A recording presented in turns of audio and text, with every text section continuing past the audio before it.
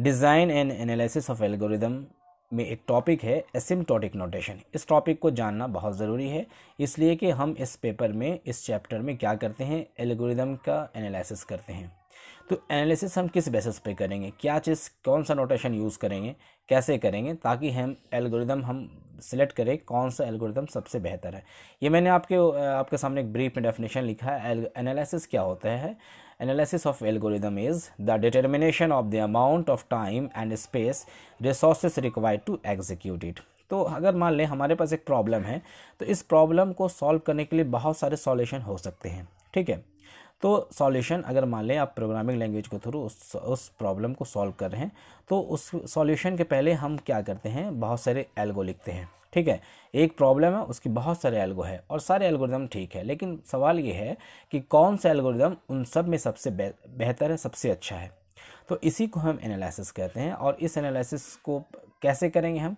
Notations के ज़रिए से करेंगे, क्या अप्लाई करेंगे चेक करेंगे, कौन कितना कम समय लेता है, कौन कितना कम स्पेस लेता है, जो जितना कम समय लेगा, कितना कम स्पेस लेगा, वो सबसे अच्छा एल्गोरिदम होता है। लेकिन यहाँ पे सिर्फ़ थियोरेटिकल कहने के से नहीं होगा, बल्कि उसको हम लोग प्रैक्टिकली देखना होगा कि कौन सा एल्गोरिदम सबसे बेहतर होगा यूजिंग एसिम्टोटिक नोटेशन ठीक है? तो अब ये तो आ, समझ में आ ही गया होगा कि एनालिसिस हम क्यों करते हैं। एनालिसिस किसी चीज़ के ऊपर भी हम जब एनालिसिस करते हैं तो हम देखते हैं कि बेहतर क्या है। हमारे पास जब एक से ज़्यादा सॉल्यूशन हो जाएँगे तो ज़ाहिर सी बात हम सारे सॉल्यूशन को नहीं लेंगे। हम कोई एक सॉल्यूशन लेंगे जो सबसे बेहतर होगा। उसी तरीके से यहाँ पे एल्गोरिदम में जो कम समय में एग्जीक्यूट करे और कम स्पेस ले उस पर हम ज़्यादा फोकस करेंगे ठीक है? तो ये एल्गोरिदम एनालिसिस थी। अब हम आगे देखते हैं। हम एनालिसिस कैसे करेंगे? सबसे पहला जो यहाँ पे आप देखें, यहाँ पे हमने तीन तरीके से यहाँ पे लिखा। जनरली तीन ही तरीका होता है। एक है वर्स्ट केस दूसरा है बेस्ट केस और तीसरा है एवरेज केस देखिए, मैं कोशिश कर रहा हूँ कि आपको जो ब्रीफ में करके बताऊँ, ताकि ये जो पेपर थोड़ा सा लेंदी हो जाता है, जो इनिशियल स्टेज में होते हैं स्टूडेंट्स लेकिन मैं कोशिश कर रहा हूँ कि आपको मैं बहुत ही स्टेप वाइज बता के आपको समझाने की कोशिश कर रहा हूँ। सबसे पहले वर्स्ट केस ये होता है क्या है? वर्स्ट केस में क्या होता है? कोई भी एल्गोरिदम में या कोई भी प्रोग्रामिंग लैंग्वेज में क्या होगा? Maximum number of steps taken यानी बहुत ज़्यादा स्टेप्स होंगे।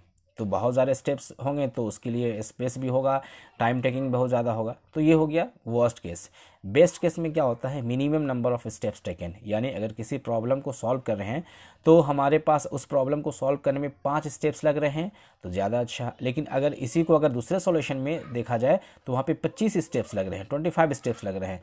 तो ज़ाहिर सी बात है, ये पच्चीस स्टेप है, ये पाँच है तो इसमें वही सॉल्यूशन मिल रहा है, इसमें वही सॉल्यूशन मिल रहा है। तो हम लोग इसी को प्रीफर करेंगे जो पाँच स्टेप्स में है। तो ये हो गया बेस्ट केस अब एवरेज केस क्या है? An average number of steps taken यानी कि इसमें क्या एवरेज नंबर ऑफ़ स्पेस को टेकन लिया जाता है। ठीक है? तो ये हो गया एवरेज केस और ये बेस्ट केस और ये वर्स्ट केस तो हम लोग इस पे इस पे बेसिस पे हम लोग एनालिसिस करते हैं एल्गोरिदम का। इसके बाद हम देखते हैं अब जो मेन हमारा टॉपिक है एसिम्टोटिक नोटेशन ये है एसिम्टोटिक नोटेशन पहले डेफिनेशन देखते हैं। They are used to analyze algorithms running time by identifying its behaviour as the input size for the algorithm increases ये असिम्प्टोटिक नोटेशन जनरली जो है, ये मैथमेटिक्स से इसके से ये मैथमेटिकल सिम्बॉल्स होते हैं, जिसको हम लोग टाइम कम्प्लेक्सिटी के बेस पे एल्गोरिदम को एनालिसिस करते हैं। नेक्स्ट क्या है? This is also called algorithms growth rate ठीक है? तो एक ये हो गया और एक ये हो गया। उसके बाद इसको मैंने बताया आपको, जो मैथमेटिक्स से ही लिया गया है, और हम लोग मैथमेटिकली इसको देखेंगे वैल्यू को पुट करेंगे, उसके बाद उसको फाइंड करेंगे। अब देखते हैं कौन कौन से नोटेशन जो है इसमें यूज़ किया जाएगा।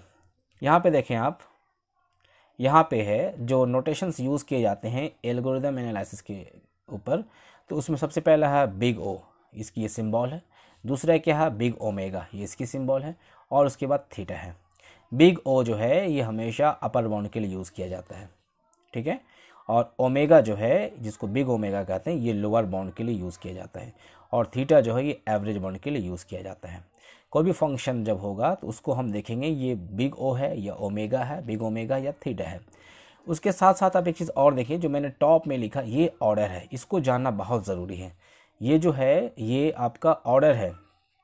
ये जो मैंने ब्लू कलर में एन लिखा, ये आपका F F F of N function actually function ये है।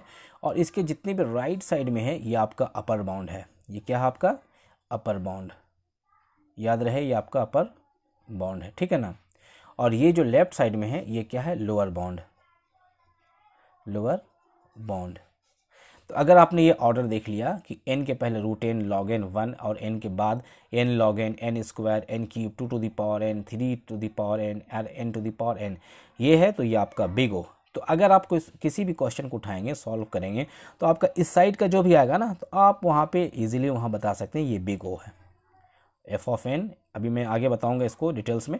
तो आप देखेंगे कि कितना आसानी से हम इसको फाइंड कर सकते हैं बिग होगा या बिग ओमेगा होगा।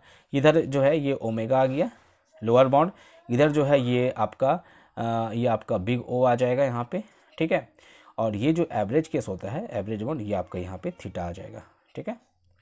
तो इस चीज़ को आप देखेंगे वन बाय वन करके तब आपको समझ में आ जाएगा। तो जनरली हम लोग एल्गोरिदम की जो एनालिसिस करते हैं वो हम लोग उसकी टाइम कॉम्प्लेक्सिटी के ऊपर करते हैं और उसकी जो तीन नोटेशंस है यहाँ पे एसिम्टोटिक नोटेशन जिसको हम लोग कहते हैं बिग ओ है बिग ओमेगा थीटा है, इस पर फोकस करते हैं, ये ऑर्डर को आप याद रखें। और इसके बाद नेक्स्ट लेक्चर में आपको हम बिग ओ बिग ओमेगा और थीटा के बारे में बताएँगे और इसकी ग्राफ से दिखाएँगे कि इसकी फ़ंक्शंस को कैसे फाइंड करते हैं।